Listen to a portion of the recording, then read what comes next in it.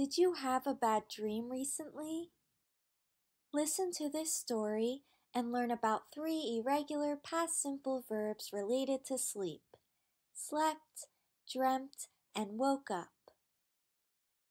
A few days ago, I slept on my way to school. I dreamt that I didn't bring my essay to school.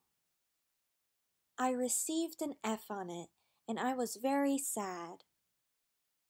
But then I woke up and I realized that it was just a bad dream. My essay was in my backpack. I was very relieved.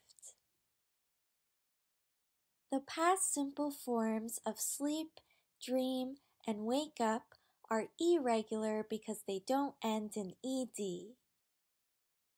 I sleep becomes I slept, I dream becomes I dreamt, and I wake up becomes I woke up. Now it's your turn.